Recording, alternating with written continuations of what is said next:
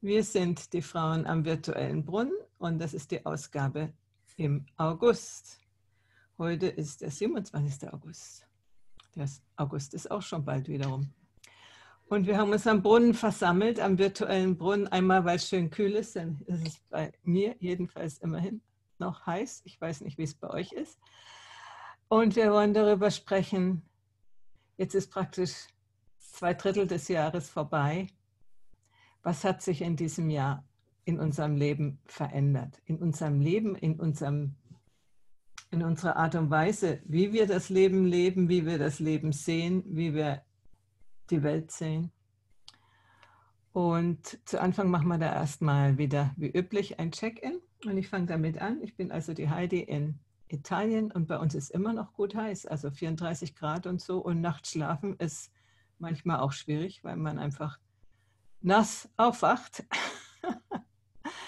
Aber sonst freue ich mich, denn bald wird es kühl werden und ich liebe die Wärme und ich liebe nicht den Winter. Hm, ist ja auch ein Grund, warum ich hier bin. Und ja, jetzt gebe ich weiter an Ramona. Ja, schöne Grüße aus Berlin, dem Hexenkessel habe ich zumindest den Eindruck. Mir ist so ein bisschen mulmig hier. Und ansonsten, genau, mache ich meine ganzen Sachen, die ich so mache, meine ganzen Termine. Und ähm, ja, morgen verlasse ich äh, die Stadt. Also und entziehe mich hier dem, was sozusagen angekündigt ist und das, was ich hier spüre. Um auch meine Familie zu beruhigen. Meine Mutter ist schon seit zehn Tagen hippelig und hat Angst um ihr Kind. Ja, kannst du kurz äh, für die Records äh, sagen, was, äh, was da ist? Na, mal gucken, was da ist. Also sie hatten ja am 1. August hier eine Demo gemacht, direkt vor meiner Haustür. Also ich wohne ja hier so mittendrin. Und hier läuft ja alles lang. Und für morgen ist sozusagen, war die nächste angekündigt, weil es ja irgendwie so, dann haben sie ja vor zwei Tagen das verboten.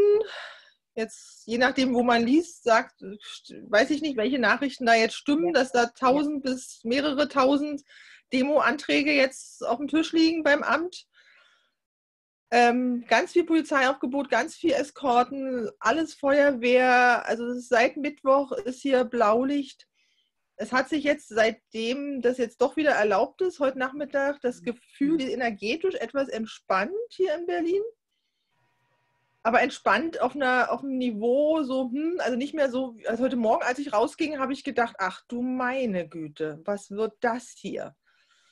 Ja, und dann Mittag, als diese Nachricht raus war, nach dem Mittagessen, nach dem Lunchtermin, dann dachte ich so, okay, aber es ist, es kribbelt. Es kribbelt hier, es ist hier ganz aufgewühlt und äh, genau, ich spüre halt auch meine Mutter, die würde das zwar nicht so formulieren, aber ich fahre jetzt an den Stadtrand zu meiner Familie und mache einen Familientag und muss halt, muss mal gucken, wann ich in die Stadt morgen wieder fahre oder ob ich dann außerhalb der Stadt schlafe, was hier los ist, da werde ich morgen mal dann doch mal in die Nachrichten gucken und was hier wie passiert.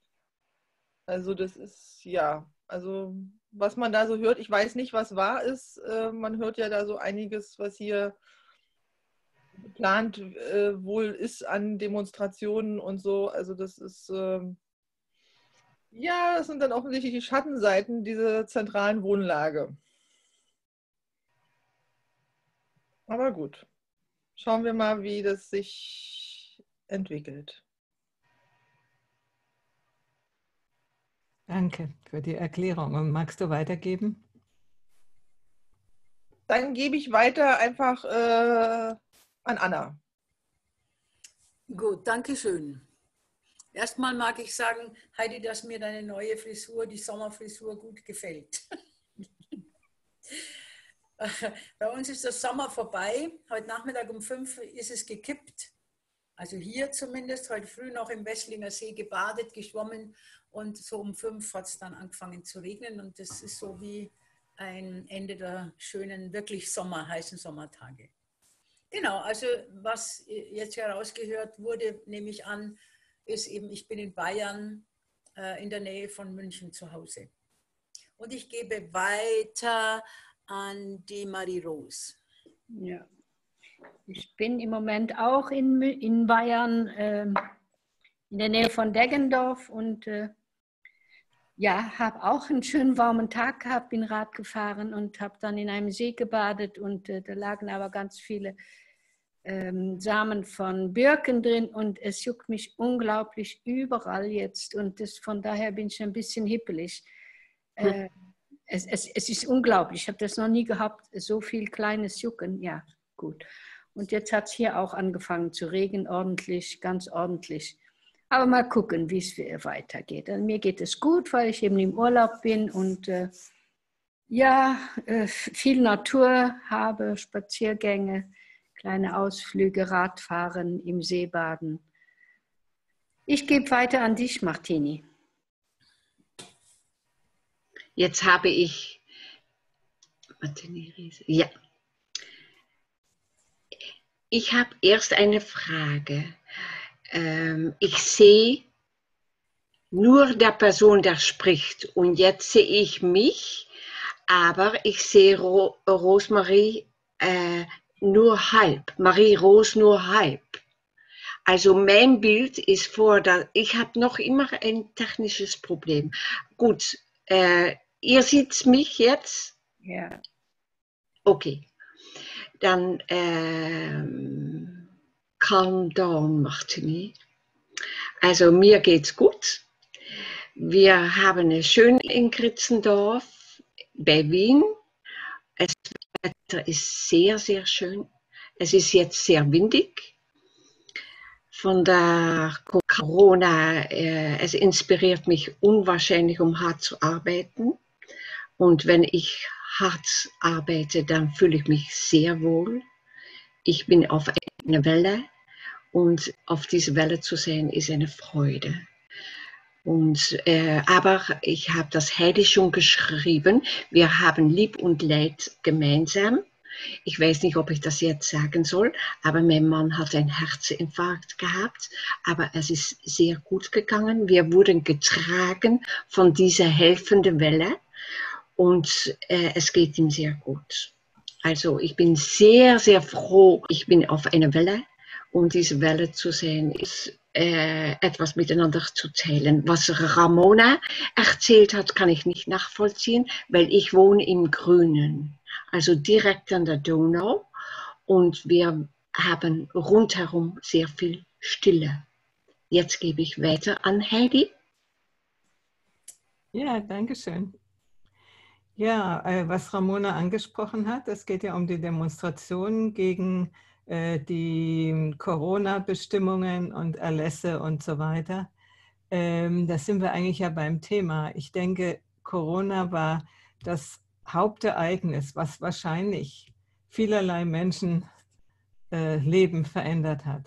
Also umgekehrt, das Leben vieler Menschen verändert hat und äh, unseres in gewisser Weise ja wahrscheinlich auch und Ramona äh, so weit, dass sie fleht äh, morgen von diesem Ereignis, was angekündigt wird. Und ich finde es ja doch spannend, dass du sagst, dass diese Energie so komisch ist. Das ist die ganze Stadt davon eingenommen. Ja? Ähm, und dann interessiert mich, wie du das spürst, was du da spürst. Ich will kurz noch, äh, bevor wir das machen, sagen, ich habe vor kurzem wieder von Daniel Schmachtenberger ein wunderbares ähm, Gespräch gehört, wo er sagte, all diese Sachen kommen praktisch heraus als Antwort auf das, dass die Menschen so, sagen wir mal, plötzlich eingeschlossen waren und, äh, und äh, nicht wussten, was sie mit sich anfangen sollten. Und dass jetzt praktisch an der Oberfläche, alles an der Oberfläche bekämpft und gemacht wird.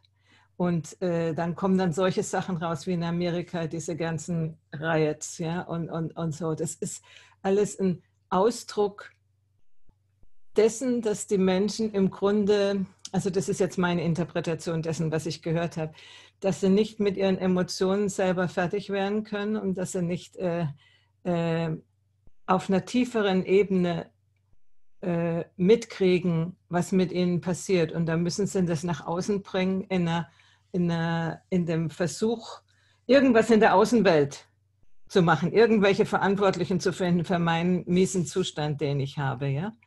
Und äh, ich sehe das so. Und wenn ich jetzt mal an uns denke, die wir im Grünen wohnen, wir hatten ja wirklich einen Vorteil, weil wir ähm, nicht so belangt waren von diesem totalen Shutdown. Wenn ich mitten in der Stadt gewesen wäre, ich weiß nicht.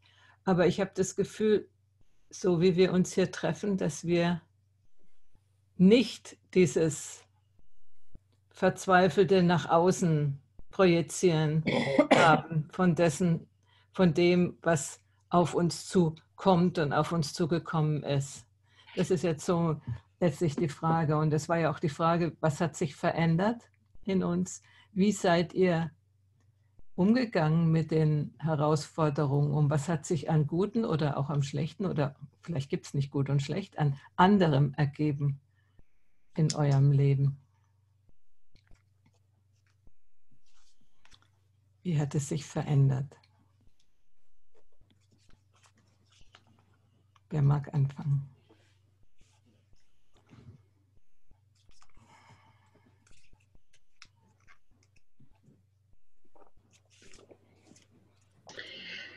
Ich würde gerne darauf äh, eingehen. Und zwar, Heidi, du hast einmal vorgeschlagen, dass eine Astrologin ähm, einen Vortrag halten würde, auch zum Thema Corona. Und ich habe diese Frau, die ich dir damals vorgeschlagen ha habe, habe ich öfters äh, jetzt einen Vortrag in YouTube angehört. Und die, sie hat mehr oder weniger gesagt, dass all diese äh, ähm, äh, Ausbrüche ähm, in, in der äh, äh, Astrologie zu, vorauszusehen sind. Also die hat da und ich habe das wunderbar gefunden. Ich habe nicht, nicht viel davon gewusst, aber sie äh, Ausbrüchen in der äh, vorauszusehen sind. Und ich habe das wunderbar gewusst. Aber sie hat, sind Leute jetzt mit dieser gebunden sind, dann äh, äh können sie das auch so in der Wissenschaft. Und da würde ich gerne ein, ähm, ähm, ein Buch äh, ähm, äh, bekannt geben. Ich habe ein paar Videos von euch gehört und da hat die, ähm, wie heißt sie jetzt, die Dame, die jetzt nicht dabei sein kann, die auch in Wien wohnt, die, oh, ja. ähm, Monia, ja, die hat auch ein Buch angesagt und äh, ich würde es jetzt gerne sagen, versteckte Wirklichkeit von Schäfer Lothar. Das hat alles mit ähm, äh, Quantentheorie zu tun. Und es ist so schön, mhm. dass die Wissenschaft und die Spiritualität sich begegnen. Ja, tiefst tiefst begegnen und wir können nicht an die Oberfläche schwimmen bleiben. Ja, wir müssen in die Tiefe gehen und das ist wunderbar, dass es rundherum passiert. Dann habe ich noch ein, eine liebe Frau kennengelernt von vielleicht 19 Jahren.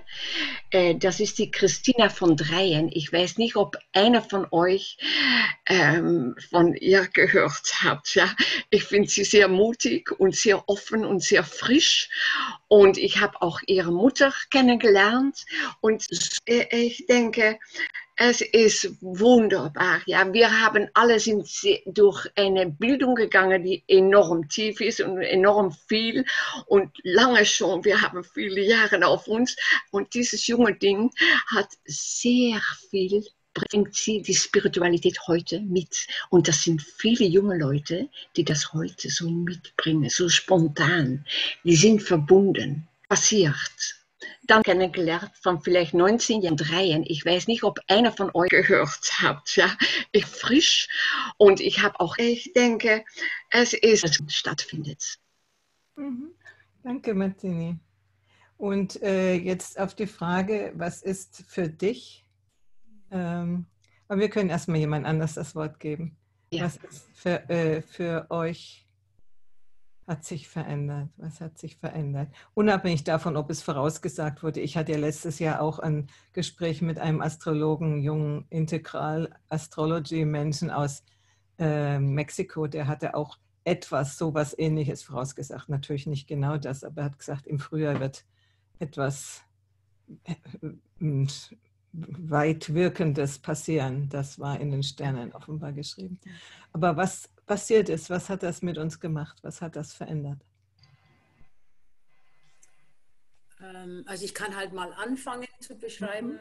Mhm. Ich habe ja am Anfang erzählt, wie ich von Angst gejagt war und also sehr bedroht. Und ähm, ich habe daraufhin ähm, mit viel Disziplin einfach ganz viel gemacht, um mein Vagussystem sozusagen zu stärken, mein Nervensystem.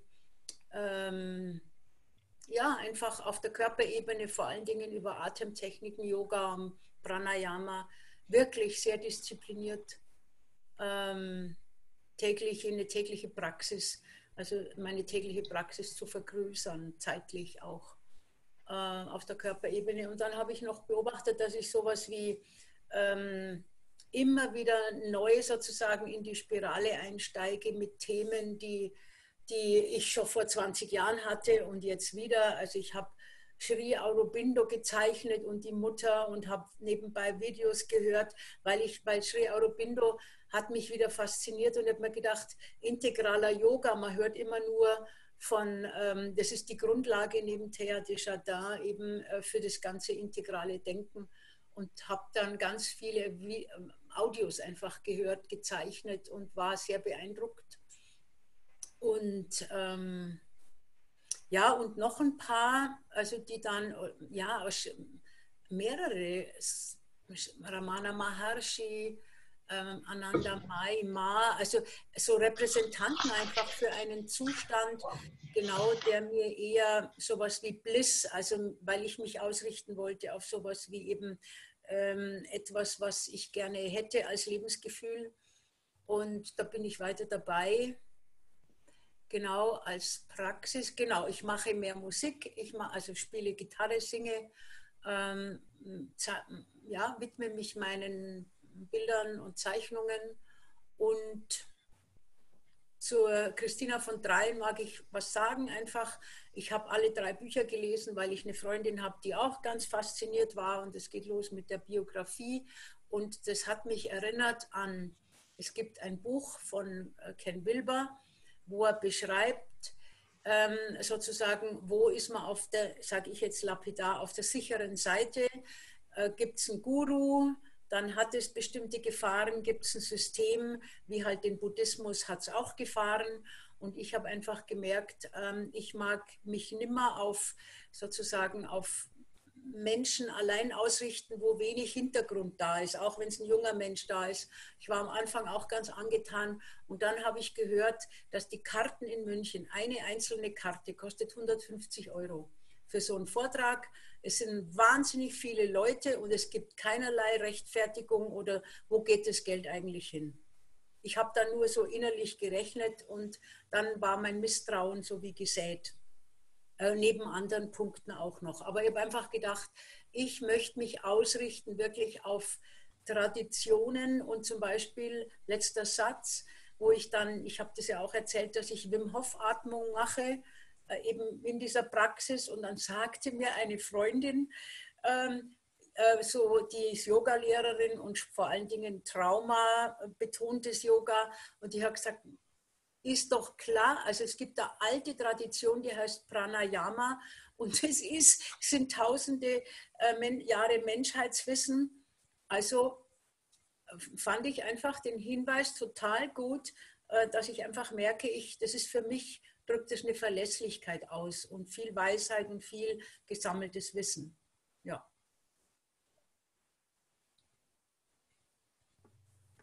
Ja, danke schön.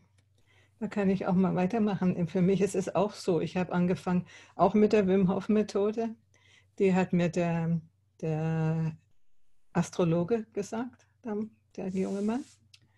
Und das mache ich jetzt schon seit fünf oder sechs oder sieben Monaten. Ich weiß nicht mehr wie lang, seit Anfang März, denke ich, fast jeden Tag. Und ich habe auch das Gefühl, dass einiges sich verändert hat dadurch. Ich kann es nicht genau sagen, aber so eine Grund, Grundstimmung ist irgendwie anders. Ich weiß nicht.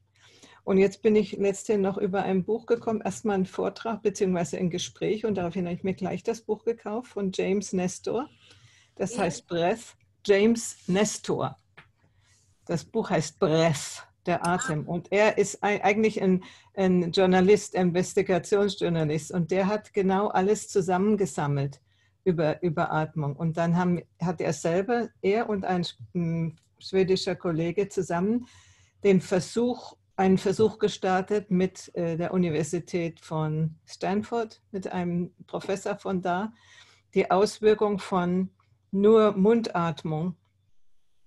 Die haben zwei Wochen ohne, ohne Nasenatmung und mussten, haben alles gemessen und so, ne? Und haben festgestellt, wie schnell das durch, durch die Binsen geht, wenn man durch, nur durch den Mund atmet. Und also wirklich dokumentiert, äh, was das alles mit sich bringt. So, manche Sachen, wo man denkt, das ist Psychologie, wie Depressionen oder sowas, ja.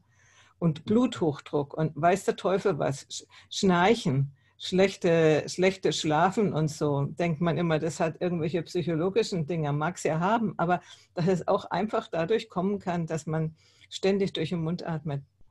Und dann eben, das war ein Monat lang der, der Versuch, dann wieder, wieder nur durch die Nase und so. Also das ist ganz spannend, dieses Buch. Und was ich aber eben dazu sagen wollte, er, am Ende listet er eben auch verschiedene Atemtechniken auf. Und Tumo nennt er das, was die Wim Hof Methode ist. Das ist diese Atemmethode, wo man ganz lange den Atem anhält, ohne welchen drin zu haben, also nicht atmet. Das ist die Methode, die im Wim Hof auch anwendet, um in einem Eiswasser drin zu sitzen und zu, zu schwimmen unter Eis. Und was die tibetanischen Mönche angewendet haben, äh, um das Schnee um sich herum schmelzen zu lassen. Und in dem Buch sagt der Mensch, dass im Moment, da gab es ja einen tibetanischen Mönch, der sich bereit erklärt hat, wissenschaftliche Untersuchungen zu machen. Und bei dem war das so, der konnte in seiner Hand verschiedene Wärmestrahlungen haben. Ein Teil der Hand konnte so und so, so und so warm sein, der andere Teil konnte so und so warm sein. Und der konnte auf, auf Befehl sein Herz auf 300 schlagen lassen und dann wieder runter und so. Also äh, der, der Beweis, dass man das, ähm, was man denkt, das Un, wie sagt man, das Nervensystem, was man nicht beeinflussen kann, kann man eben doch beeinflussen durch entsprechende Technik. Und dieser Autor sagte, dass Wim Hof wahrscheinlich der, der ohne äh, spirituellen Hintergrund, der am, äh, am meisten fähige Mensch ist im Moment, der das machen kann, der so sein Parasympathetic Nervensystem, äh, äh, wie sagt man, unwillkürliches Nervensystem beherrschen kann. Ne? Und ja, also kann das Buch nur empfehlen. Es hat mir total Spaß gemacht, das zu lesen. In zwei Tagen habe ich es durchgehabt. Jetzt gebe ich es allen Freundinnen. Meine Freundin zum Beispiel sagte, äh, hat dann Studien gemacht über all die Leute, die das schon entdeckt hatten, auch klinisch und alles Mögliche. Und dann kam bei einer tot, war es wieder vergessen. Und ist ein in einer Klinik, äh, ein äh, Professor sagte auch, äh, Emphysema wird immer gesagt, das kannst du nicht, kannst du nicht heilen. Aber da gab es jemanden, der konnte das heilen. Und zwar dieser jemand war ein Chordirektor, der erst mit Sängern angefangen hat und gemerkt hat, dass die falsch atmen und so, ja. Und dann äh, von da aus ging es immer weiter, bis er dann zu einer Klinik gerufen worden ist, wo lauter atemkranke Menschen waren und hat über zehn Jahre gearbeitet und hat solche Krankheiten wie Emphysema großteils äh, heilen können. Nicht? Und eine Freundin von mir hat das eben und die ist jetzt total begeistert, dass sie vielleicht doch was machen kann. Denn wenn du gesagt kriegst, das ist unheilbar, das wird immer nur schlechter, also pff, ja, hast halt Pech gehabt, ne? ist das natürlich kein so wunderbares, ähm, wunderbare Aussicht. Und sie hm, hat jetzt auch angefangen mit, der, mit, der, mit den Übungen, sagt sie, wenn sie jetzt den kleinen Hügel hochlauft, ist schon besser. Ist sie nicht so außer, außer Atem wie vorher. Und zwar der Witz ist der, dass man nicht zu viel einatmet, sondern mehr ausatmet und ohne Atem ist. Und das hat auch seinen sein Hintergrund, weil wenn man zu viel atmet, denkt man, man hat einen Haufen Oxygen, äh, äh, Sauerstoff im Blut, aber es kann nicht wirklich angelagert werden. Und dazu braucht man eine bestimmte Menge von Kohlendioxid im Blut. Und die tut man sozusagen raus, indem man zu viel atmet. Also wenn man Atem anhält, dann äh, erhöht sich das Level von Kohlendioxid in deinem Blut. Damit kann das Blut das, äh, Oxygen, also das äh, Sauerstoff aufnehmen. Und das sind alles Sachen, wo ich gedacht, ich habe mein Leben lang mit Atem gearbeitet als Sängerin nicht und als Gesangslehrer und ich weiß das alles nicht. Manometer. Und freue mich jetzt, dass ich es jetzt weiß. Ich vermute mal, das ist wieder mal ein englisches Buch. Ja, ja, ist Englisch. Mhm. Aber wie gesagt, er hat nichts Neues erfunden, sondern er hat äh, Riesenstudien gemacht, Research, ne, ist zu all den, hat die alle interviewt, ist zu all den Leuten gefahren, hat sich, hat die auch geübt, all die Techniken und das zusammengetragen in dem Buch. Da ist so ein Riesenanhang hinten dran mit Quellenangaben und so. Also wenn es einen wirklich interessiert. Und ich meine, Wim Hof Methode, das ist nachweisbar. Die haben ja auch Untersuchungen gemacht, dass, dass das Bakterien und wahrscheinlich eben äh, auch Viren mit, der, mit den Atem wegatmen kann auf diese Art und Weise. Nicht? Jemand wie er. Der ist, wurde, er und noch äh, einige seiner Schüler wurden dem, ich glaube, Eboli oder das Ebola, irgendwas, äh, äh, Bakterien ähm, eingespritzt in, in, in, einer klinischen Untersuchung. Nicht? Und äh, naja, und dann wurde es gemessen und die waren in kürzester Zeit verschwunden aus seinem System. Und das ist faszinierend und keiner spricht drüber. Aber ich meine, am Atmen kann man nicht viel verdienen, nicht? Verdient keiner was, weder die Pharmaindustrie noch sonst wer. Das ist, du bist stumm, Ramona. Das können wir ändern. Ja, genau. Deswegen erzähle ich euch das ja auch. Ich möchte es weitertragen, diese, diese Möglichkeiten dass man selber was machen kann. Man fühlt sich so empowered, ja, wenn, wenn man das Gefühl hat, ich kann was tun. Äh, dazu fällt mir ein, ich hatte mal bei mir den Miroslav Großer äh, in meiner Veranstaltungsreihe. Äh, der ist hier in Berlin, äh, Obertonsänger und äh, kann sozusagen ja erkennen bei geschlossenen Augen, ob man äh, sozusagen spricht, singt ohne Schuhe, flache Schuhe oder Hackenschuhe und so. Also der hat sich da auch mit sozusagen dadurch garantiert auch mit Atem beschäftigt. Also wenn du da was, der macht auch seit diesem Jahr das ist eine Ausbildung. Das heißt, wenn da irgendwie, müsste man mal, äh, ich glaube, da könnte man gucken. Also den halte ich für interessant, Anna, wenn du das da irgendwie nochmal reingehen willst. Und in Deutsch und mit jemand persönlich oder so. Ja, gerne. Was? Wie heißt der? Miroslav? Großer. Miroslav Großer. Mit V oder mit W? Miroslav? Hm? Miroslav mit M. Miroslav, genau, M. Miroslav. Ah, okay. Mhm. Okay, gut, danke. Guter Tipp. Genau, was wollte ich zu, wo waren wir noch bei welchen Themen und was wollte ich noch? Ja, tun? eigentlich war es damit, was was verändert hat. Und für mich hat sicher okay, diese genau. Atemgeschichte war auch ganz wichtig und jetzt das letzte Ergebnis, dass ich zu dem Buch gekommen bin und zu einer guten Praxis jeden Tag. Ja, ein paar Sachen haben wir ja schon mal in dieser anderen Frauenrunde sozusagen erzählt. Also ich habe festgestellt, dass ich Menschen helfe, indem ich mir, indem ich mir helfen lasse. Ja, weil manche eine Erlaubnis brauchen, was zu tun, gegen die Regeln zu verstoßen, weil es ist ja in Ordnung, also man darf ja das Haus nicht verlassen im Shutdown, aber man darf ja einen depressiven Freund oder sonst was oder so, darf man ja helfen oder keine Ahnung. Also gewisse Sachen sind dann wieder erlaubt und ähm, das fand ich interessant, ähm, was ich da erlebt habe. Dann habe ich eine, Bezie eine Beziehung, eine Frau, die kenne ich seit fünf, sechs Jahren und es ist eine ganz komische Beziehung. Also es ist immer so ein Ping-Pong. Es dauert mindestens fünf Mal, bis da irgendwie ein Termin und ein Kontakt wirklich dann eine Kommunikation zustande kommt. Das ist die ganze Zeit so. Und jetzt im Shutdown, wir sind beide Singles, wohnen nicht weit auseinander hier in der Stadt, haben wir uns dann einmal in der Woche getroffen und war nett. Kaum hat sich das dann wieder relativiert, wieder Ping-Pong. Nichts funktioniert. Also ganz spannend, das muss ich mir nochmal, oder will ich, was heißt muss überhaupt nicht, aber will ich mir nochmal irgendwie angucken, was da eigentlich läuft, was da eigentlich, äh, äh, ich weiß es noch nicht. Also das fand ich spannend, dass es dann sozusagen Ja, dass man in dem Moment dann zusammengehalten hat, aber dann auch wieder, als es nicht mehr so notwendig war, gleich wieder zack war. Das ist mir aufgefallen. Ja, dass Berlin eine Geist, also als es ganz extrem war, war das ja echt eine Geisterstadt hier, Berlin. Also, das war nicht mehr mein Berlin. Ähm, jetzt ist es ein bisschen lebendiger, aber wenn man weiß, was sein könnte, ist das immer noch weit, weit weg. Hm. Was hat sich verändert? Ja, so an gewissen Sachen komme komm ich halt nicht vorwärts. Darf ich mich in Geduld üben?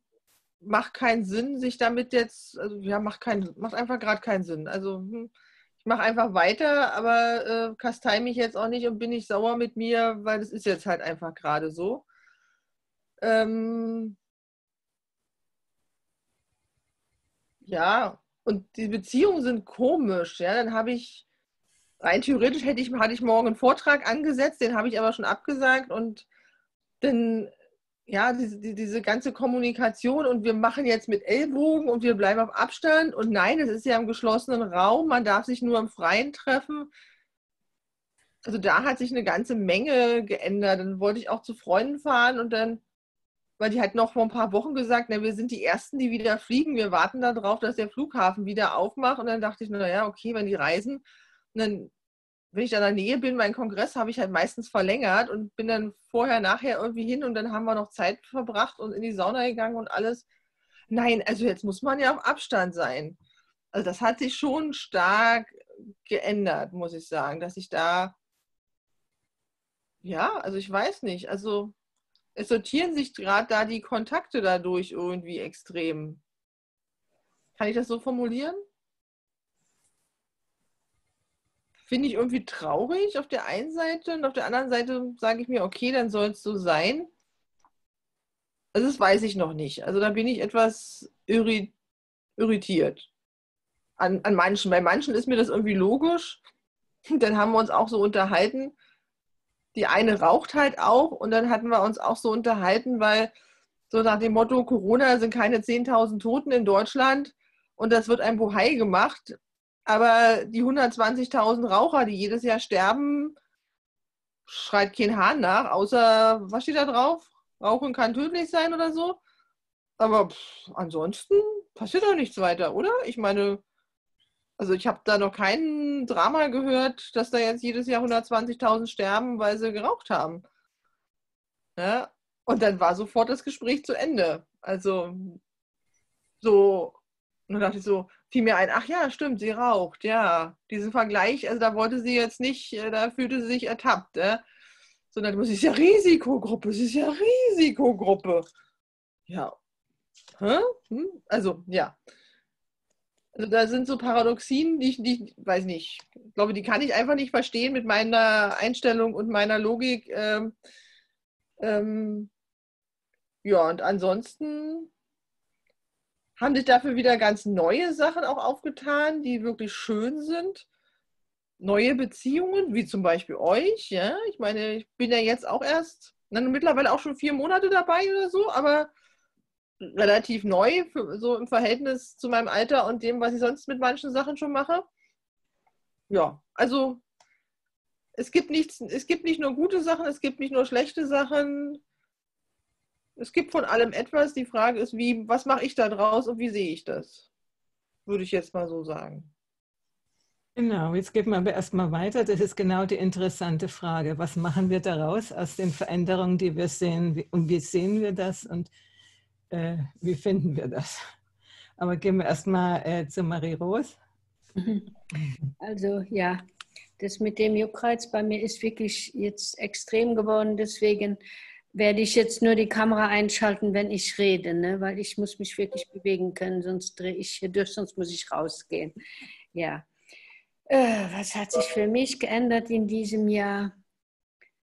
es war schon ein erstaunliches Jahr für mich, weil es auch angefangen hat im Februar mit dieser Darmoperation und äh, dann äh, ja dem langen Genesungsprozess, in den Co in den Corona-Lockdown hinein, ähm, wo ich halt ganz viel geruht habe. Und dann, dann die Zeit, wo ich tatsächlich fast keinen Kontakt hatte mit niemandem, aber ganz viel, respektive keinen direkten physischen Kontakt, aber ganz viel eben über WhatsApp oder Konferenzen und dann dann kamen die ganzen Konfer ja, dann kamen wirklich ganz viele Online-Konferenzen, was ich total spannend fand, was mir total gut getan hat. Also ja, Konferenzen, zu denen ich nach meiner OP nicht hätte hinfahren können, wenn die physisch stattgefunden hätten, an denen ich aber so teilnehmen konnte. Das war, das war schon ganz schön. Das, ja, das war für mich ganz schön. Ähm, durch die Zeit allein hat sich auch noch mal, ähm, äh, habe ich innerlich auch noch mal, ja, mich mehr eben auf mich zurückbezogen und äh, konnte ein bisschen, ein bisschen auch an meiner inneren Freiheit, äh, konnte ich ein bisschen weiter, weitergehen damit, äh, meine innere Freiheit. Und äh, jetzt haben sich die Kontakte weitgehend wieder normalisiert, so bei mir. Ähm, es ist in meinem direkten Freundeskreis weniger, Anfang, weniger Angst und weniger Fragen als zu Anfang, wo man wirklich guckt hat, ja, was ist es nun wirklich, wie gefährlich ist es nun wirklich, hat sich so in meinem Freundes- und Bekanntenkreis, hat, es, hat, das, hat die Angst sich definitiv ähm, ja, gelöst und ist nicht mehr, ist nicht mehr so präsent. Das, das Leben fühlt sich wieder normaler an. Äh, für mich als Luxemburgerin war es sehr erschreckend und äh, ja, auf einmal, dass Deutschland die Grenzen zugemacht hat, erst einmal, ne? Frankreich hatte, also äh, in dem Lockdown war Luxemburg wirklich ausgesperrt, ausgesperrt und eingesperrt. Das hat sich auch wirklich vom politischen, vom gesellschaftlichen, von dem Gesamten, hat es sich nicht gut, definitiv nicht gut angefühlt. Ne? Und dann äh, in Luxemburg, dadurch, dass wir so extrem viel getestet haben, wir haben mehr Tests als, äh, als Einwohner haben wir. Wir haben 600.000 Einwohner. Es sind äh, 750.000 oder so Tests mittlerweile schon gemacht worden. Ne? Dadurch ist bei uns diese sogenannte zweite Welle dann erst früher äh, bemerkbar geworden auch. Ne? Und wir wurden, wieder wir wurden wieder ausgesperrt von Deutschland. Deutschland hat uns sofort ausgesperrt, ohne auch nur irgendwie Kontexte zu, be, zu beachten. Und so, äh, wenn, wenn Deutschland auch mal über 80 Millionen Tests gemacht hat, sieht es vielleicht auch anders aus bei Ihnen. Ne? Also das war, das hat sich nicht gut angefühlt. Das war definitiv, da habe ich nur gedacht, die Deutschen drehen durch, habe ich zwischendurch gedacht. Ne? Und ähm, ja, unser Außenminister ähm, hat ja auch schon kritisiert, wie das RKI da, äh, wie das äh, mit, den, mit diesen äh, sogenannten positiven Tests und äh, das umgeht. Ja, was hat sich für mich noch verändert? Ich weiß es nicht, ich kann es auch nicht genau sagen, wie weit es sowieso mit, mit Veränderungsprozessen in meinem Leben äh, äh, zu tun hat, was anders auch vielleicht sich verändert hatte und was sich jetzt äh, zusätzlich wegen diesen besonderen Umständen im Moment in der Gesellschaft und auf der Erde verändert hat, kann es nicht genau sagen. Vom astrologischen her ist ganz klar, dass diese Konjunktion mit äh, Pluto und, und Saturn im, im im Steinbock, da geht es wirklich um, um Pflicht und um, äh, um Abgrenzung, um Verantwortung, um, um, um Zumachen. Und das wird noch andauern bis Dezember. Und gleichzeitig ist aber Jupiter der Planet der Expansion, äh, der auch in Konjunktion ist, also der auch da mitspielt. Und äh, von daher gibt es so diese unterschiedlichen Reaktionen. Die einen, die so ausweichen und Nein sagen und überhaupt nichts und wir brauchen gar nichts. Und die anderen, die die so ängstlich werden und äh, alles zumachen wollen. Ja, und äh, solange der in Steinbock ist, eben das, das Zeichen schon auch, wo es um gesellschaftliche Gesetze geht auch und um Einschränkungen und um Verantwortung, solange wird das noch so hin und her gehen. Ne? Und äh, danach geht, geht diese Konjunktion dann in das Wassermannzeichen und da wird, da wird noch mehr der Wandel ähm, gepusht werden. Da wird, da wird noch mehr unerwartet, äh, äh wird es da noch zu unerwarteten neuen äh, neuen Ausrichtungen wird es noch kommen. Ja. Schätze ich.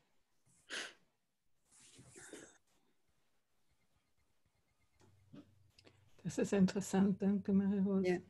Ich kenne mich leider nicht so gut in Astrologie aus, und, ja, aber das zu hören, es ist damals schon, als ich das Interview gehabt habe mit dem jungen Mann, das fand ich auch schon spannend. Also ich mhm. höre gern was, aber irgendwie kriege ich es nicht hin, mich selber damit zu beschäftigen. Mhm. Jetzt Martini, magst du noch ein bisschen was über dich erzählen?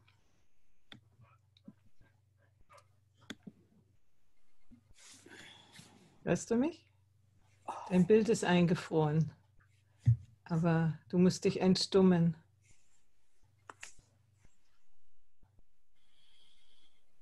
Martini, bist du da?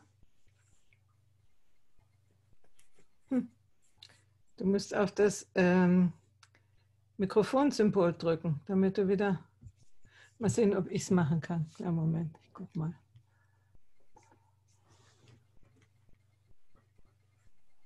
Ask to unmute. Ich kann dich nur fragen, dass du dich bitte entstummen sollst. Aber ich kann es nicht machen von hier aus. Okay, du kommst halt dann rein, wenn es geht und wir, wir reden einfach ein bisschen weiter.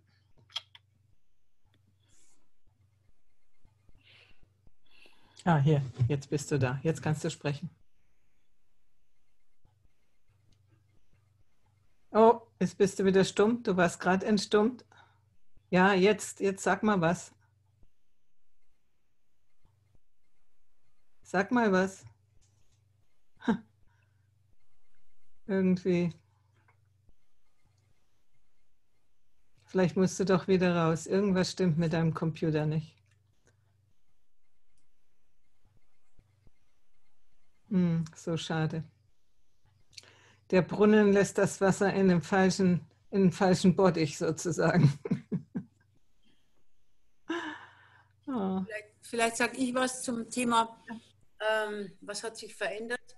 Also gerade bezogen auf, auf mh, mm, die Gruppe, in der ich ja bin, habe ich ja schon öfter erzählt, diese Tanzgruppe, ähm, wo ich so am Anfang relativ früh schon ein Zoom organisiert habe, damit die Gruppe zusammenbleibt.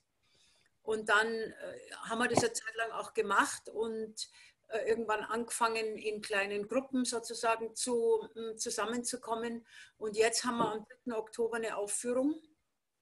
Keine Ahnung, ob es stattfindet, ob wir mit Masken auftreten auf der Bühne, äh, ob wir uns sozusagen vorher testen lassen, damit wir und dann in Quarantäne gehen für die zwei Tage. Keine Ahnung.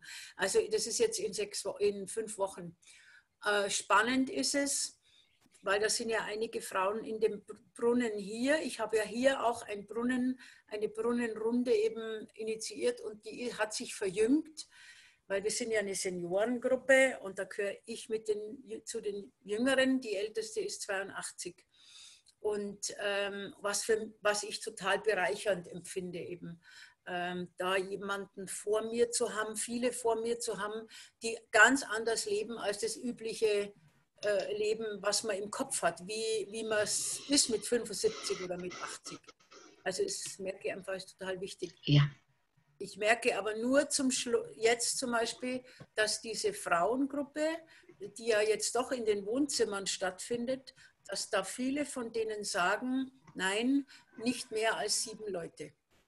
Also das sind ein paar wie ich dabei, mir ist das egal. Also zu mir können es kommen.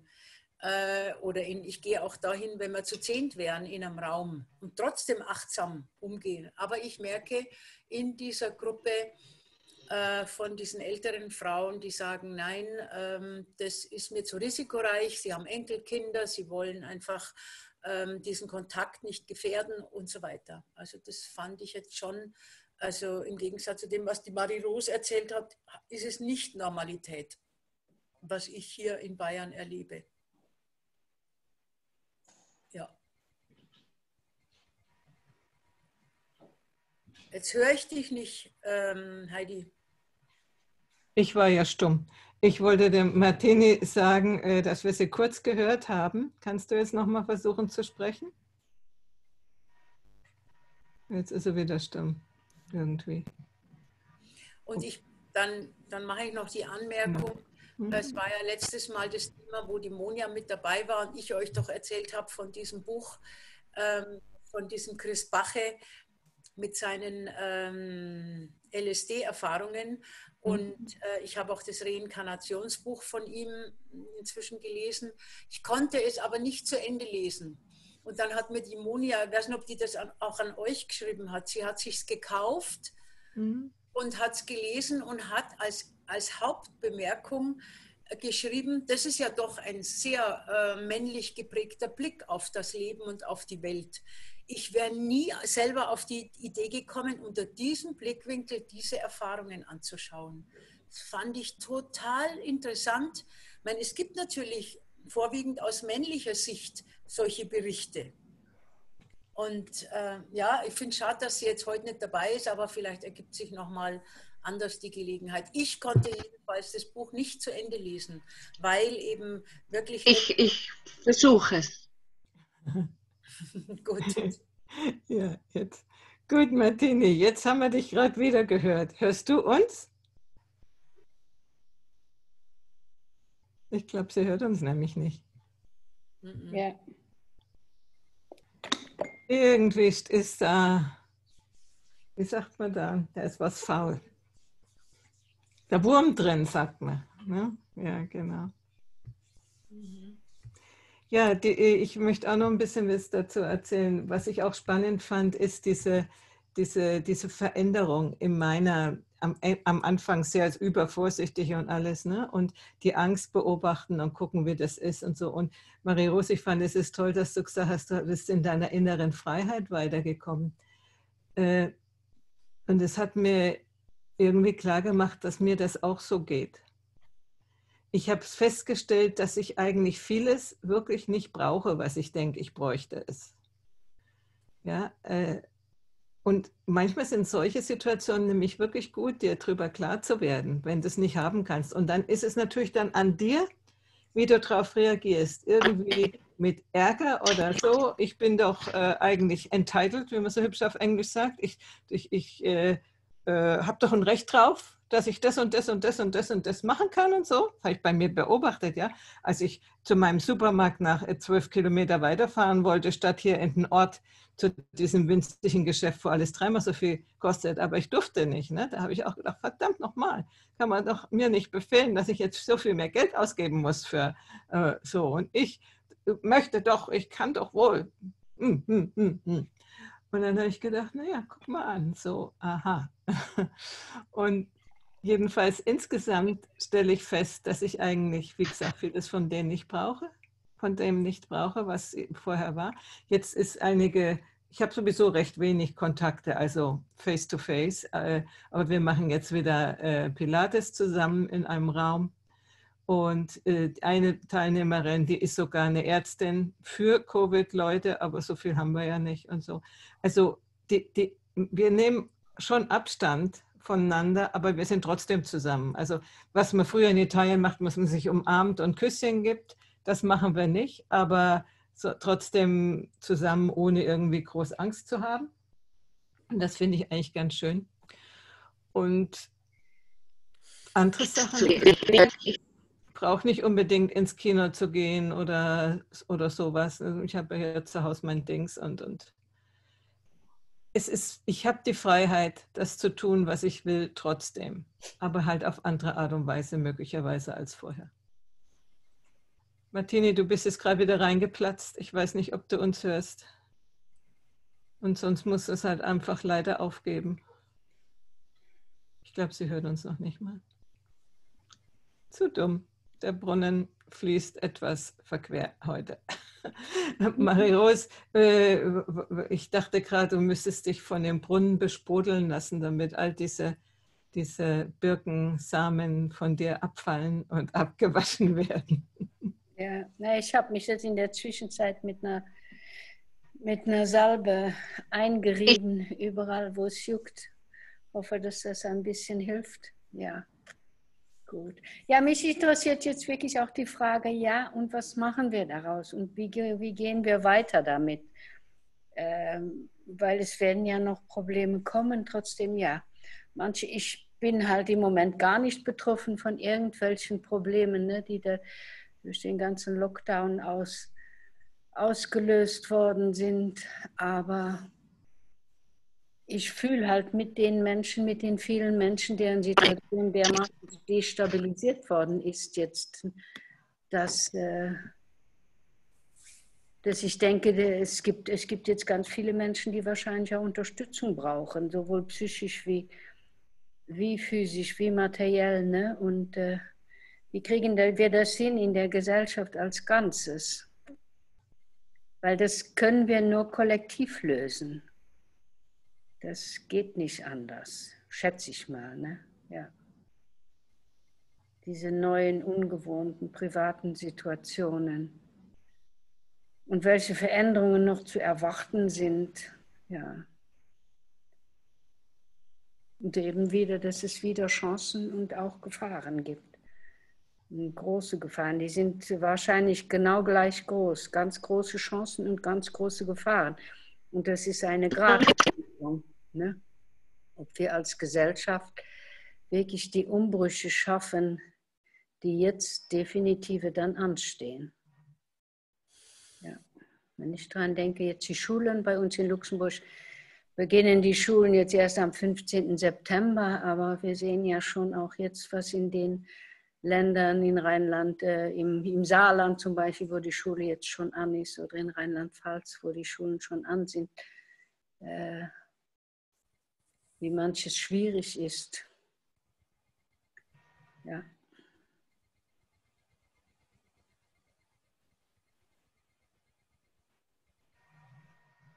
Und wie wir es schaffen werden, aus der Angst herauszukommen, damit wir wirklich in Kontakt mit dem Potenzial sind, dass in den, mit dem Potenzial kommen, was da drin ist. Ne?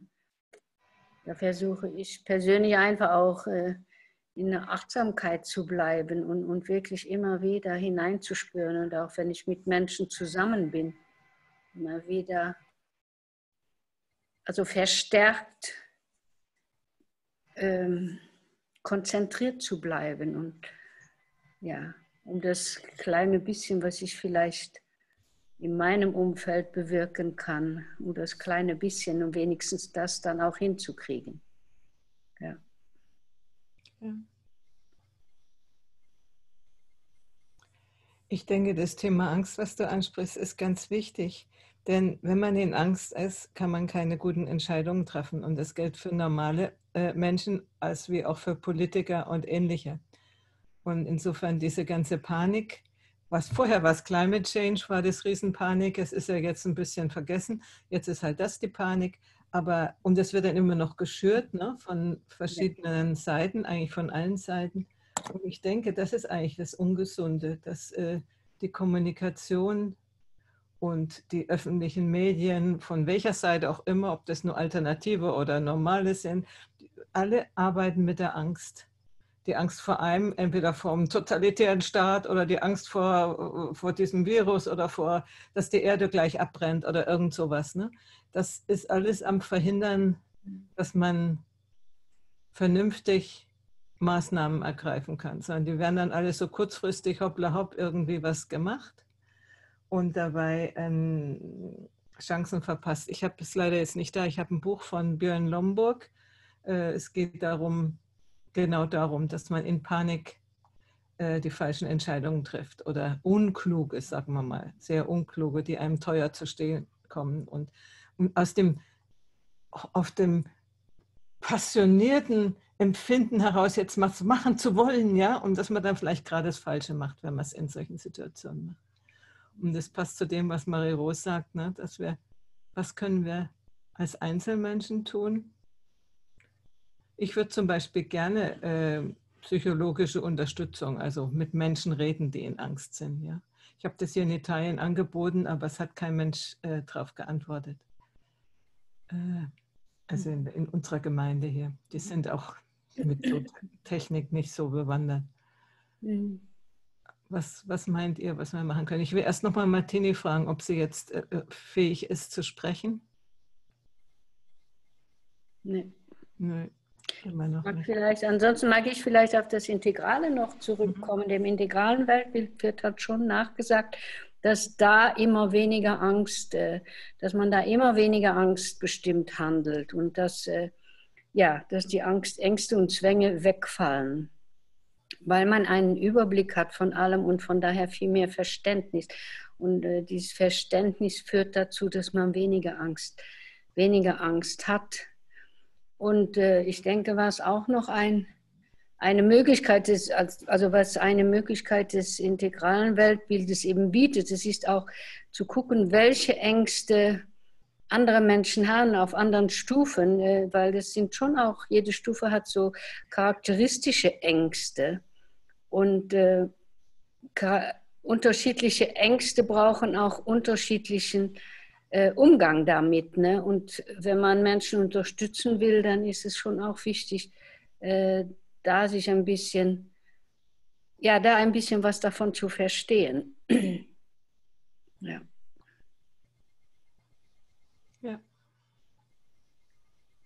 Und eine Angst, äh, die glaube ich schon, die jetzt zum Beispiel sehr stark ist, die ich sowohl bei Politikern wie auch bei, bei Wissenschaftlern sehe, dass, dass die Gruppenbestätigung brauchen.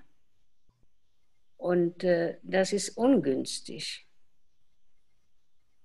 wenn man aus Angst nicht mehr von, von der Gesellschaft akzeptiert zu werden als Politiker, wenn man aus dieser Angst heraus dann versucht, ja, möglichst viel zu machen und möglichst ja, möglichst viel zu machen, um nachher keine Vorwürfe gemacht zu bekommen.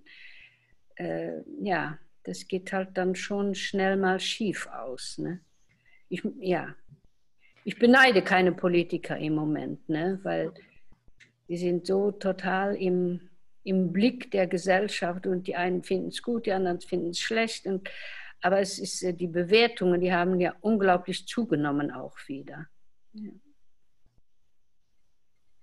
Ja, der Druck, ne, der aus, das ist ja auch ein Angstergebnis, ja. äh, äh, dass die ja. Menschen dann von anderen erwarten, dass sie richtig handeln und ihnen das Richtige bieten, ne, wie die Politik, dass sie genau das Richtige jetzt entscheiden muss. Ja. Das heißt, man verlagert die Eigenverantwortung wieder auf andere Menschen. Ne? Ja, ja. Und offen zu sein, wir brauchen ja Offenheit für neue Kreative und äh, vielleicht auch überraschende Problemlösungen, jedenfalls neue Problemlösungen ganz offensichtlich. Und dafür, dafür muss man schon entspannt sein. Entspannt und ich glaube auch wirklich spirituellen Zugang haben. Ne? Wirklich so wie bei Otto Schama, der sagt, ne, in dieses Presencing hineingehen, Open Mind, Open Heart, Open Will ne, und dann wirklich ganz loslassen damit aus der tiefen Inneren, aus dem tiefen individuellen Inneren, aber auch sind das, was ja dann ins Kollektive hineingeht, aus dem Tiefen des äh, Gesamtmenschheits.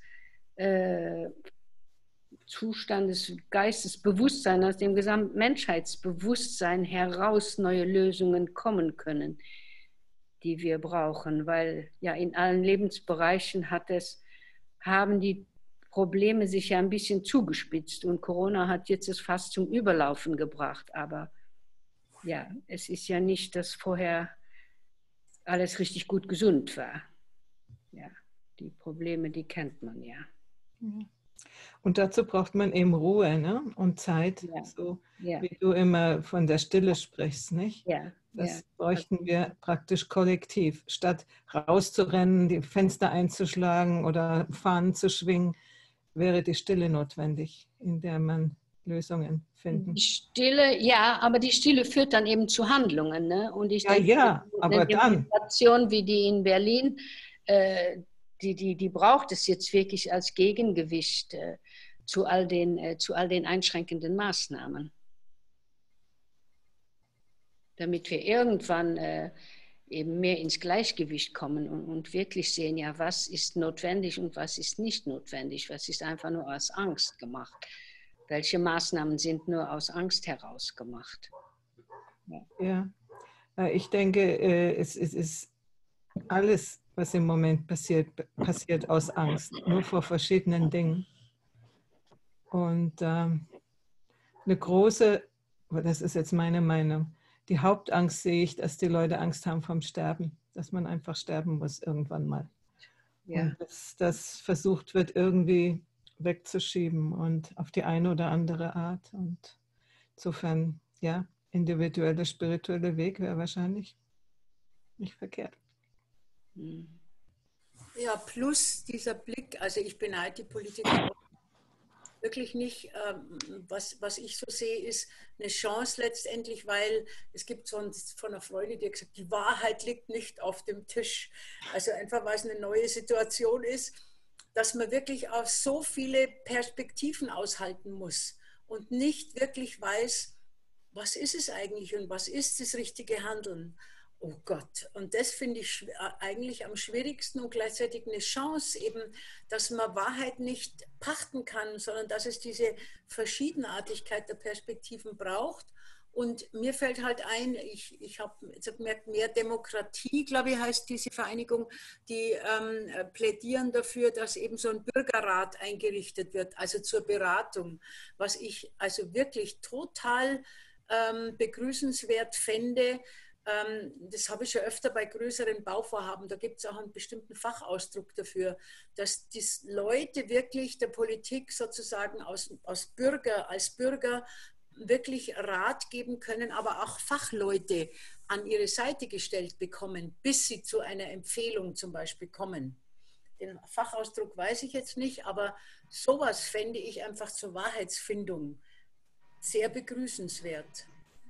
Und gleichzeitig, ich denke eben, die Politiker lassen sich ja auch beraten, jetzt schon. Aber ich weiß da einfach zu wenig. Ich bekenne, mm, ich weiß politisch einfach, bin ich nicht wirklich gut informiert. Ja, äh, äh, Ramona, ich würde mich jetzt mal interessieren für dein Take äh, an, auf, auf das. Äh, ich habe es vorhin angesprochen, so und so viele Leute sterben von Lungenkrebs, so und so viele Leute sterben auf der Straße.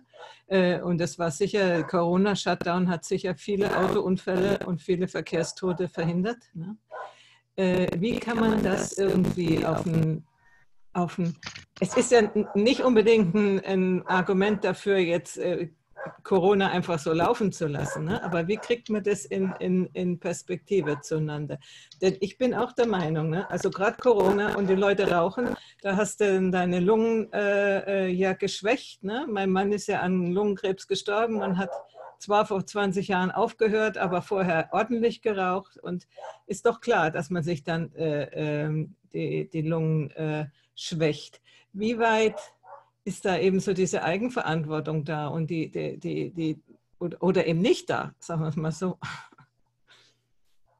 Wie, wie, siehst du das? Wie, wie kann man das irgendwie balancieren? Und es nicht als Argument gebrauchen, also dafür, dass man jetzt, äh, dass es mit Corona nichts taucht. Ne? Also alles hat, hat ja seine Folgen und seine, sein Für und sein Wider. Ne? Oder wie könnte man verantwortlich aus eigenem oder sagen wir so, wenn du als an, an, an Lungenkrebs stirbst, ist es halt deine Verantwortung. Du hast halt geraucht. Aber wenn du an Corona stirbst, ist es nicht unbedingt deine Verantwortung, wenn es dir jemand äh, geschickt hat, sozusagen, der dich angehustet hat. Ist das ein Unterschied? Weiß ich nicht. Also ähm, es gibt ja sowas wie äh, Prävention und also es ist in meiner Verantwortung, dafür zu achten, dass ich mich gesund ernähre, bewege und gut schlafe. Und also ich sag mal, alles, was ich tun kann, dazu gehört eben nicht nur die Maske, sondern eben diese, hauptsächlich diese drei großen Kategorien und dann das Schlafen. Also wenn ich hier, da wo ich ausstelle, bin ich ja auch immer wieder und dann erzählt die mir, sie schläft also selten mal über vier Stunden, ja. Und raucht und macht und natürlich hat die dann Angst. Ja, klar, kann ich verstehen, hat zwei Kinder, muss dann mehr machen und so, aber ähm, da mehr Aufmerksamkeit oder ich bin ja im Projektmanagement unterwegs und dann haben die sozusagen die Präsenzveranstaltung in Leipzig abgesagt und das eins zu eins den Zeitplan in Zoom gelegt. Oder die nehmen dann, ich weiß, die dann nehmen GoToMeeting, ist ja wurscht, jedenfalls sowas ähnliches. Und dann habe ich gedacht, ja, geht eigentlich nicht, weil Präsenz wäre so gewesen, der Caterer hätte da irgendwo im Nachbarraum, während wir da noch getagt hätten, alles vorbereitet, die Tür geht auf und ich kann meinen Mund aufmachen und schwupps fängt die Verdauung an. Sag ich mal ein bisschen salopp, ja. Aber wenn ich zu Hause bin im Zoom, muss ich ja erstmal das Messer wetzen und erstmal anfangen, was zu machen. Das heißt, ich komme in 45 Minuten gar nicht rum. Also natürlich bin ich genug Projektmanagerin und lange genug äh, auf dieser Welt, dass ich weiß, äh, wie man das vorher vorbereitet und so weiter. Aber eigentlich funktioniert es nicht. Und dann zu sagen, es braucht diese Ruhe für gewisse Sachen, da waren wir eben ja auch. Also ich, ja, das, das mehr in den Fokus zu stellen und das mehr äh, sich bewusst zu machen, dass da auch die Verantwortung ist, dann in die Ruhe zu gehen, was Schönes zu machen und dass ich sehr wohl dafür verantwortlich bin, dass ich Corona kriege. Ja, also, weil ich sag mal, ich hier mitten in der Stadt, äh, wie viel U-Bahn, also was, also jetzt ja vielleicht, das machen sie ja nun sauber und so, aber vorher die ganzen Jahre, ich hätte ja also nach der jetzigen äh, Diskussion im Prinzip im permanenten äh, Influencer äh, ähm, Modus sein müssen, ja, weil so überall Bus und Bahn, überall fasse ich an und mache und tue. Habe ich aber nicht. Warum nicht? Weil ich versuche, ja, mein Immunsystem auch noch zu stärken und dann zu sagen, okay, ist jetzt zu spät, ich gehe jetzt ins Bett, ich mache jetzt nicht die Party, ich trinke jetzt nicht den Alkohol. Ja, also weniger Alkohol, weniger diese ganzen Stoffe und natürlich und also finde, da ist schon sehr viel Eigenverantwortung, weil wir gehen doch zum Arzt und sagen, wasch mich und mach mich nicht nass, ja, mach mich heile. Dass ich sozusagen da eine Verantwortung hätte und mittun könnte und so, darum geht es doch gar nicht in unserem System. Ja, wir gehen zum Arzt und sagen, mach.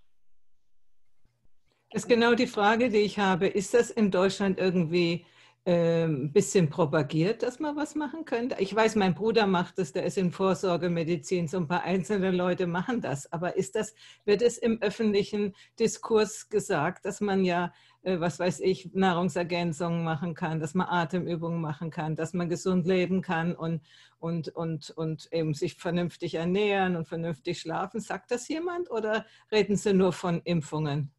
Na ja, wir hatten letztens die Diskussion, dass das eher in alternativen Zeitschriften oder in der Süddeutschen auch schon Artikel, also das, die Gebildeten, die sind schon drüber gestolpert, sage ich mal, die sich mit gewissen Sachen beschäftigen, aber ich sag mal, die Gaußsche Normalverteilung, ja, die 80 Prozent Berg, ähm, die müssen Glück haben, dass sie drüber stolpern und also und penetriert dass sie das sozusagen für wichtig erachten. Also da muss man dann schon hinhören und dann sagen, ach, da ist was, das mache ich jetzt. Also so penetriert wie die Zahlen oder so überhaupt nicht. Also man kann nicht sagen, dass es nicht da ist. Das würde ich jetzt, also das, nein.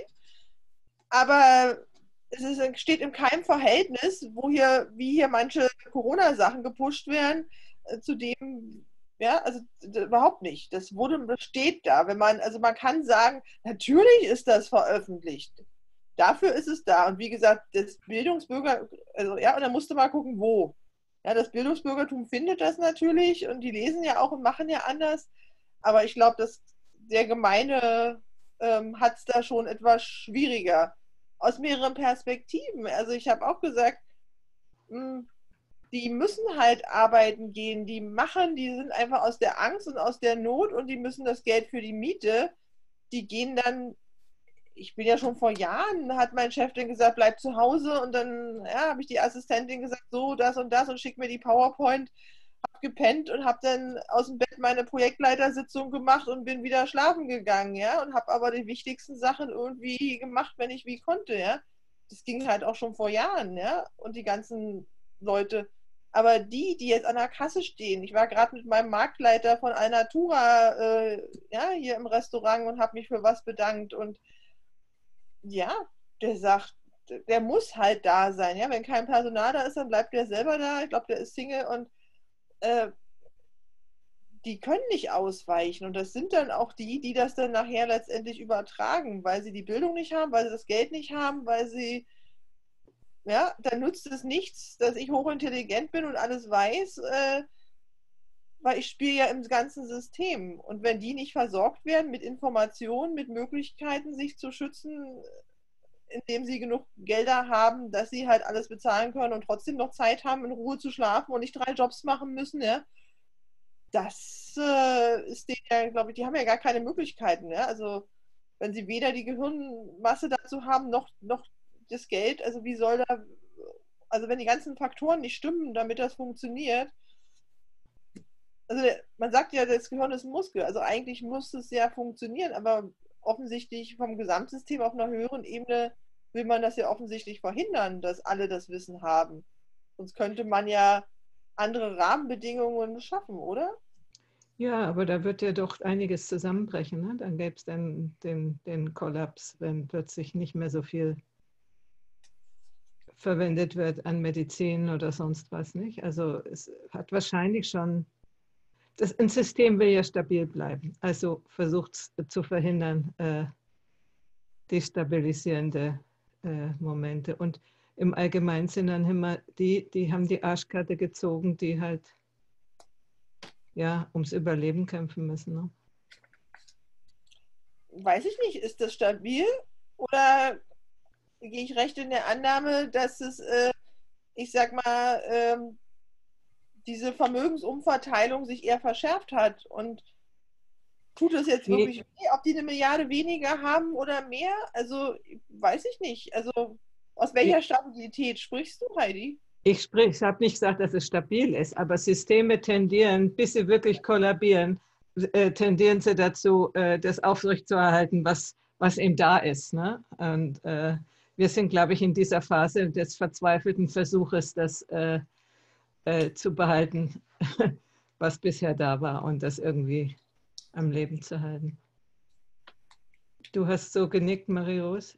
Ja, ich denke auch, dass es scheint so, als ob das Chaos wirklich noch ein bisschen größer werden müsste, bevor sich wirklich etwas wendet. Den Eindruck habe ich auch. Und ich äh, finde es auch schade, dass eben Immunsystemstärkung, dass das nicht weiter öffentlich gefördert wird, ne? dass da nicht weiter wirklich, wirklich ganz viel dazu gesagt wird und es wirklich auch gepusht wird. Und äh, ja, und vielleicht dafür Bedingungen geschaffen werden. Ne? Wobei ich auch denke, dass äh, Immunsystemstärkung, dass es auch wieder etwas ganz Individuelles und Spezifisches ist, was da jeder braucht. Ne? Aber es gibt eine neue Entwicklung, also so der, wie heißt die Charité in Berlin? Dieser, ähm, also die bemühen sich ja sehr, alternative Medizin auch zu stärken.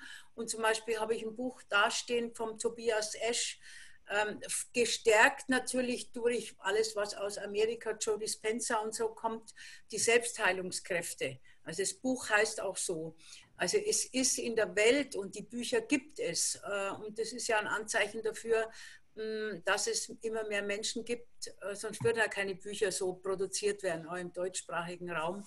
Ähm, Sage ich jetzt, da gibt es einfach ein Bedürfnis danach, wirklich selbstverantwortlich zu leben und äh, zu gucken, was kann ich selber für mich und meine Heilung tun. Ähm, ja, ich finde, das macht dann wieder Mut. Ja. Ich hoffe dass Ich habe jetzt gerade gedacht, ich habe ja auch Bücher von Ken Wilber gelesen am Anfang und ich habe es zwar irgendwie toll gefunden, konnte aber nicht wirklich was damit anfangen, weil ich niemanden hatte, mit dem ich drüber reden konnte und keine Unterstützung bekam. Wenn ich also jetzt ein Selbstheilungsbuch lese, sage ich, ah ja, ist toll, aber das kann ich ja nie. Ja? Also wie könnte ich denn das überhaupt? Und da müsste ich ja und so. Also ich glaube, man muss sehr viel mehr machen als nur ein Buch lesen. Also das ist, Buch ist schon toll, ja, das ist der Anfang. Und das, bis man das wirklich so weit kommt, zum Beispiel, dass ich jetzt diese Atemübung wirklich jeden Tag mache, vielleicht mal alle zwei Wochen einen Tag nicht oder so, weil ich es plötzlich vergessen habe das kam wirklich erst jetzt, weil ich gedacht habe, jetzt muss das machen. Ja? Also, obwohl ich ja weiß, ne, das ist wichtig und ein Pipapo und trotzdem braucht es manchmal erst einen bestimmten Anlass, bis man das endlich macht. Und ich halte mich ja für ein bisschen bewusster, sagen wir mal, als äh, viele andere Menschen. Und äh, einfach nur ein Buch gelesen zu haben, ich habe viele Bücher gelesen und habe es trotzdem nicht gemacht. Also versteht, was ich meine? Es ist toll, dass es die Bücher gibt und die werden dann konsumiert, aber machen tut man es trotzdem nicht. Und ich schließe mich da nicht aus. Ja. Ja, und ich kenne das auch und ich merke in mir, das ist vielleicht auch eine Veränderung, vielleicht auch eben, weil es einen äußeren Anlass braucht. Ähm, klar ist die Frage, ist es aus Angst motiviert? Und Angst ist ja die, unsere erste Intelligenz. Ja? Angst ist das, was uns wirklich bewegt. Äh, aber du sprachst ja vorhin eben auch, es geht ja um die Panik und um Erstarrung in der Angst. Das ist ja ähm, ganz was anderes. Wenn es eben kein Frontalhirn sozusagen zur Verfügung steht, auch dem Kollektiv, ich denke, das zu unterscheiden ist total wichtig.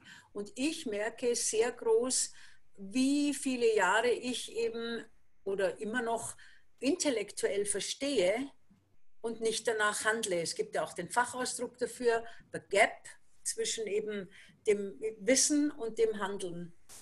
Und das gibt es individuell und das gibt es kollektiv. Ja. Und vielleicht könnte eben so eine Situation dazu führen, dass eben mehr Menschen ins, vom rein intellektuellen Wissen ins Erfühlen und Handeln kommen. Ne? Das, das wäre vielleicht die Chance. Ja, und mir fällt halt der Bezug zum letzten Mal ein, weil ich ja eben schon gesagt habe, ich, mir fehlt natürlich der Austausch wirklich mit Menschen wo man in die Tiefe gehen kann, beziehungsweise mit Menschen, die tatsächlich Erfahrungen haben.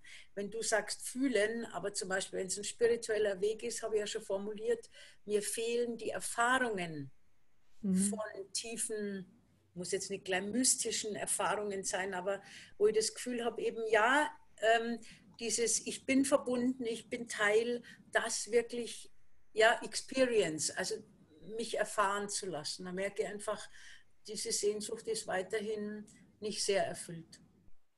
Kann ich dich was fragen? Klar. Fühlst du dich Teil von unserer Runde? Ja. Das ist doch auch schon eine Erfahrung. Ich wollte nur, als du das so sagtest, äh, wollte ich eigentlich nur, kam mir so hoch, dass ich dachte, vielleicht hast du die Erfahrung, aber du bist dir nicht dessen bewusst, dass du sie hast, was du noch nach irgendwas suchst, was irgendwie super ist oder so oder dich vom, vom Hocker haut. Ja, ja, mag sein, wo das die Monja eben erzählt hat letztes Mal und wir wissen es ja von anderen Leuten. Ja. Und ich glaube auch, dass da auch eben ähm, äh, die Gedanken oder die Sehnsüchte möglicherweise ideal sind und in Wirklichkeit man das nicht wertschätzt, was da ist. Naja. Also es gibt schon Unterschiede. Ne? Also es gibt schon Erfahrungen, die einen so prägen, dass, man eine, dass da eine Gewissheit hängen bleibt, dass da eine Gewissheit wirklich präsent bleibt, äh, dass, wir, dass wir alle verbunden sind. Dass eine Gewissheit, die das Vertrauen stärkt. Mhm. Also das gibt es schon. Ne? Und ich wünsche halt auch jedem äh, solche Erfahrungen, weil das hilft wirklich im Leben. Ja.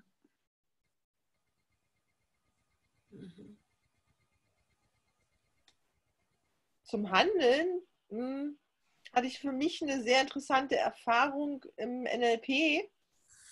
Hm. Ich habe immer gesagt, ich bin Handlungstyp, bin ja Projektmanagerin, das war glasklar. Ja? Also Beziehungstyp, Erkenntnistyp, Handlungstyp. Und dann sagt er, nee, bist du nicht. Habe mich da zappeln lassen. Lange Rede, kurzer Sinn er meint, natürlich bist du ein Erkenntnistyp. Hast du jemals gehandelt, ohne darüber nachzudenken? Ich sage, natürlich nicht. Er, idealerweise, also das, dieses NLP ist ja ein Komprimat sozusagen vom Enneagramm letztendlich nur, äh, entwickelt man sich durch immer wieder im Leben so rundrum. Ne? Und, aber es gibt halt genügend Menschen, die halt geboren werden und sterben. Also in diesem einen Punkt und sich im Prinzip nicht wirklich weiterentwickeln. Ne? Und das ist mir halt auch aufgefallen, dass viele halt auch in meinem Umfeld oder so dann äh, ja auch Erkenntnistypen sind, mit denen kann ich wunderbar, bin ja selber einer. Aber äh, dann eben festgestellt habe, dass, dass, dass die eben nicht ins Handeln kommen. Oder die, die handeln, wenn die nicht nachdenken, dass die Aktionismus machen, dass ich dann permanent den Kopf schüttel. Also auch meine Projektmanager-Kollegen, ja, die Kerle, die sich dann hinstellen, sie sind ja die Kerle, wo ich dann so denke, na, was macht ihr denn da? Also das ist doch hier irgendwie alles nur Humbug, ja. Also und ich glaube, das hat mich, ja, so eine Krise kann helfen, weil man dann in gewisse Notmechanismen kommt, was macht. Hm, aber ich glaube, anzuerkennen die verschiedenen Typen und dann vielleicht da auch zu gucken, was braucht wie und was kann wer für wen mitmachen. Also klar, die eigenen Prozesse kann man immer nur selbst machen. Aber ich habe gelernt, dass ich halt Fähigkeiten habe, die nicht jeder hat und dass ich die eben auch immer wieder schon seit Jahren eben zur Verfügung stelle, eben dieses Handeln oder dieses Vorbereiten zum Handeln. Ich kann ja, ja, ich organisiere das ja dann, aber ich kann nicht alles selber machen. So Großprojekte muss man ja auch verteilen. Also das nur so zum Handeln, was meine Erfahrung ist, was ich gesehen habe. Und ich habe noch keine richtig große Lösung, außer dass ich so punktuell natürlich meine äh, Kapazitäten zur Verfügung stelle an gewissen Punkten. Ja, und glaube, dass nur eine Krise dafür alleine nicht ausreicht.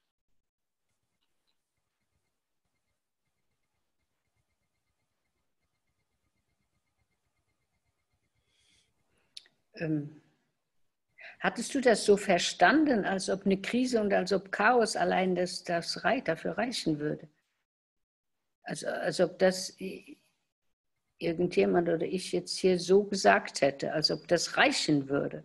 Na, das reichen nicht, aber so nach dem Motto, kam ja eben kurz davor, so nach dem Motto, ja, vielleicht muss ja die Krise noch schlimmer werden oder irgendwie so. ja, dann, ja, schon.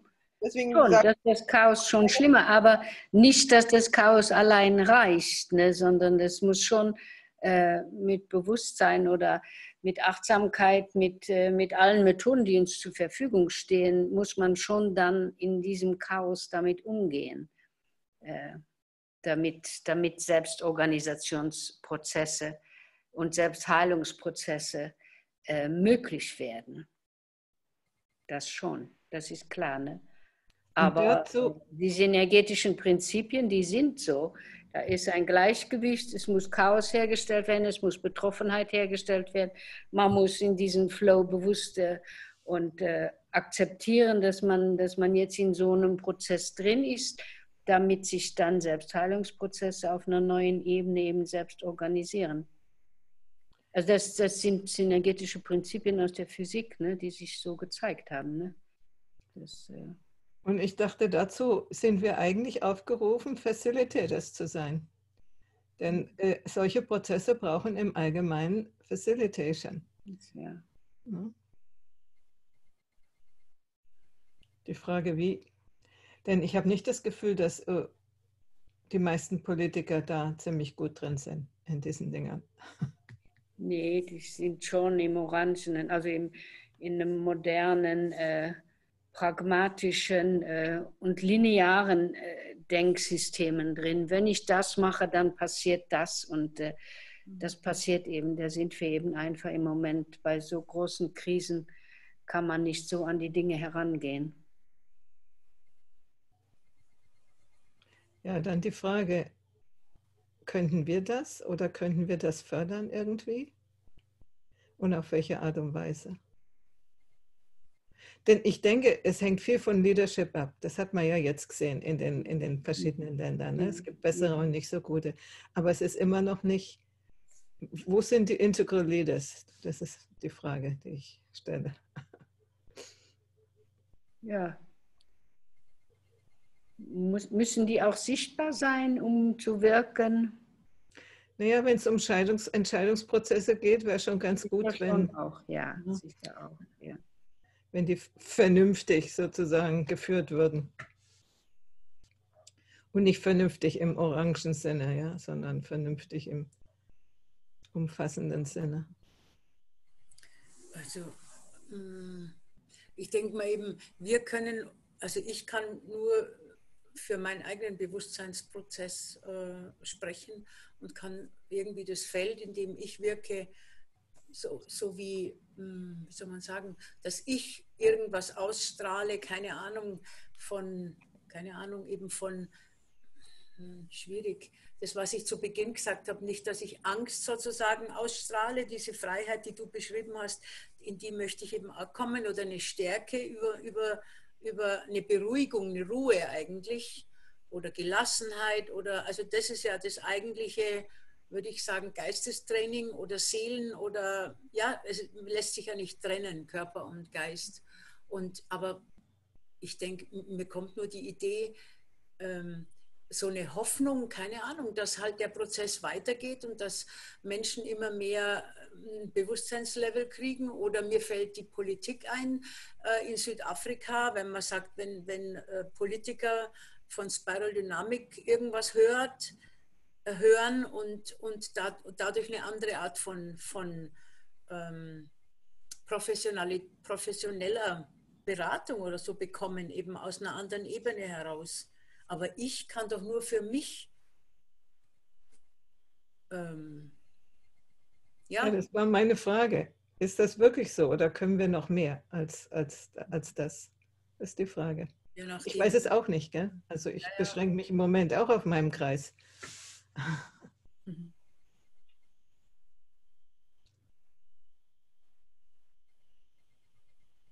Ich glaube, ich gehe, ich glaube, die Wirkung ist ja von ganz auf kleinster Ebene, also energetisch, geistig und bis es sich manifestiert. Und also ich kann nur sagen, kann man wirklich entscheiden und fragen, ob ein Handeln letztendlich wirksamer ist als all das, was vorher läuft. Es wird ja nur höher bewertet. Ist jetzt eine These.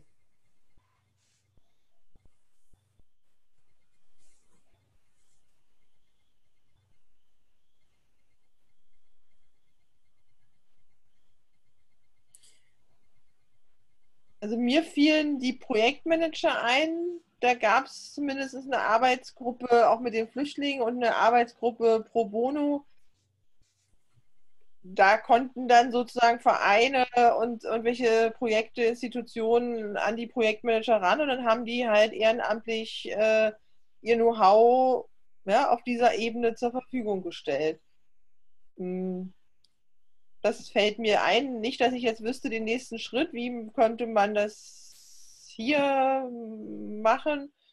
Äh, es einfach mal rein, drüber schlafen und vielleicht kommt was raus.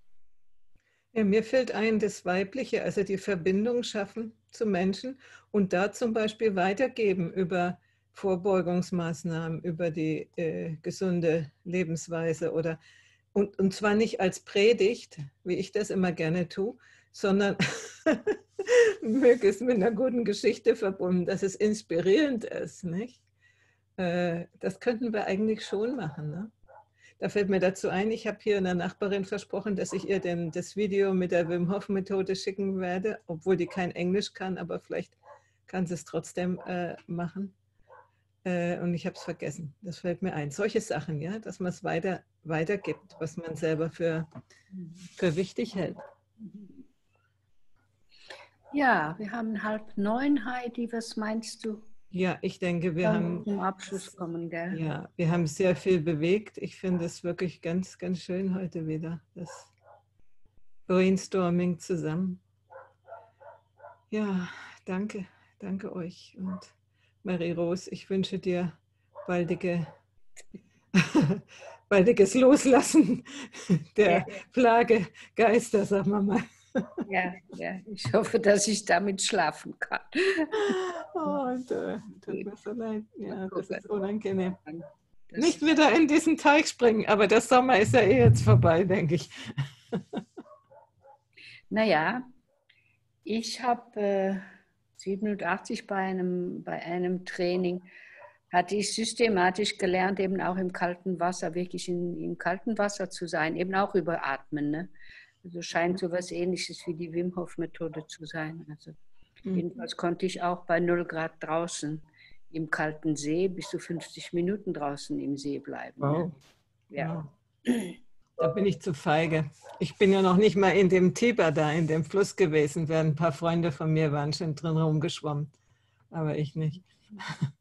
Aber ich gehöre auch zu den Menschen, denen die kühle, definitive kühles Wetter und kühles Wasser, denen das richtig gut tut. Denen meiner, meiner Psyche tut das gut. Ich habe immer die kalten Duschen. Meine Mutter war ja so immer mit Kneipp verbunden und kalte Duschen und hin und her. Das habe ich ungefähr bis zu meinem 30. Lebensjahr jeden Früh dann kalt geduscht. Und ach, nee, habe gedacht, das muss ich mir nicht mehr antun. Vielleicht jetzt mit der Erkenntnis, Wim Hof mal sehen, ob ich es mal wieder mache. Bislang nicht. Okay, ihr Lieben, Dankeschön. Wollen wir noch ein ganz kurzes Checkout machen? Ich mache es gleich. Ich habe mich gefreut, dass ihr wieder da warst und dass wir schön geredet haben. Ich gebe weiter an die Anna. Ähm, ja, ich bin ein bisschen verwirrt. Ähm, also ich finde es auch schön. Ich fühle mich tatsächlich zugehörig sehr unserer Gruppe, wirklich. Ähm, und ähm, ich bin ein bisschen verwirrt, nachdem du gesagt hast, Wim Hof ach, achtet mehr aufs äh, Ausatmen als aufs Einatmen, weil ich habe es genau umgekehrt gehört. Luft anhalten ist klar. Wie gesagt, ich mache das, aber das kann ich ja nochmal überprüfen. Äh, das glaube ich, habe ich nicht erzählt, dass ich, ich habe ja chronisch lymphatische Leukämie und habe mich testen lassen. Ich weiß nicht, ob ich das erzählt habe. Und statt dass sie angestiegen sind, die weißen Blutkörperchen, sind sie um 10.000 gesunken. Das fand ich spannend und das hat mich motiviert, wirklich im Hinblick eben auf Selbstheilung. Ja, das fand ich spannend. Genau, und vielleicht noch ein Satz.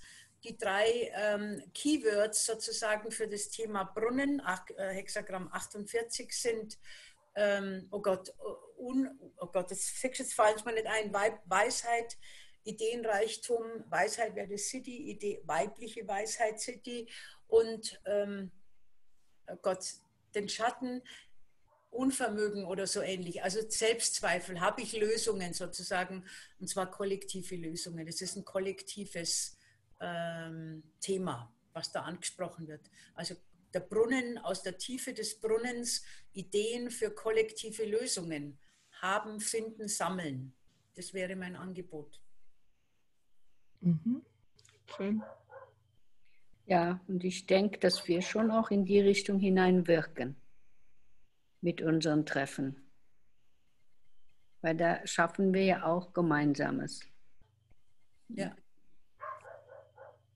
Ja, ich danke euch auch. Es war wieder spannend, auch wenn ich mich so unruhig gefühlt habe. Mhm. Aber ich hab, es hat mich wieder sehr gefreut. Ich gebe weiter an dich, Ramona. Ja, ich danke dir, Anna. Ich habe dieses Buch mal wieder äh, sozusagen aus meinem äh, Grund deiner Mail. Ich habe es glaube ich noch nie wirklich gelesen. Ich habe es nur für gut empfunden und gekauft. Und äh, jetzt mal gucken, wie weit ich komme bis zu unserem nächsten Gespräch. Aha, schau mal nach, Chinky 48. Ich habe schon Lesezeichen reingelegt und die ersten Zeilen gelesen, aber ich hatte heute zu viele Termine. okay, ja. ihr Lieben, dann bis nächsten Monat. Dann bis nächsten Monat. Ja, bye bye. Bye bye. Ciao.